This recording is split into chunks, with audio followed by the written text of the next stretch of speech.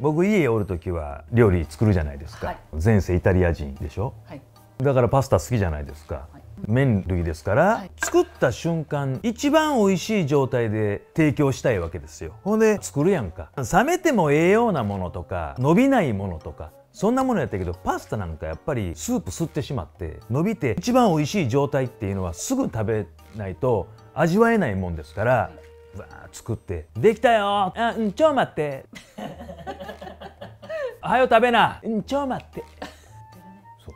何してんのちょっとあの洗濯物取り込んでから食べるわって言われた時の作った側の人間のショック。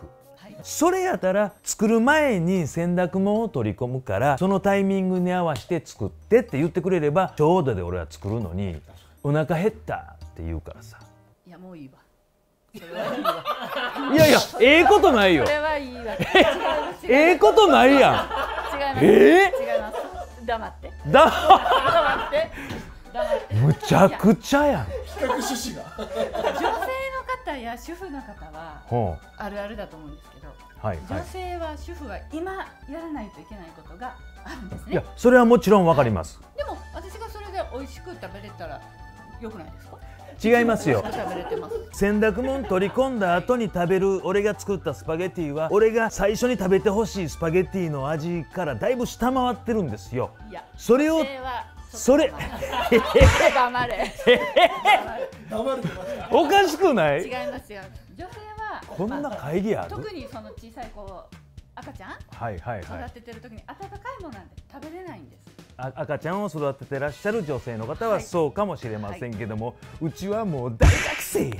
でも今私は洗濯物を取り込みたいのよ。今言うたやん。取り込みたいの。取り込みたいのよって。それをねその俺からしたらちょっとはい味が強制終了。会議や言うてんのに。め強制終了です。強制はい終了。ちゃくちゃ横暴や嘘やん。強制的に潰された。それ以上まあまあいいですわ、はい、一応気はつけてくださいって話、はい、前もって言ってくれたらちゃんと作りますかその時間に。できます。宮ハハハハ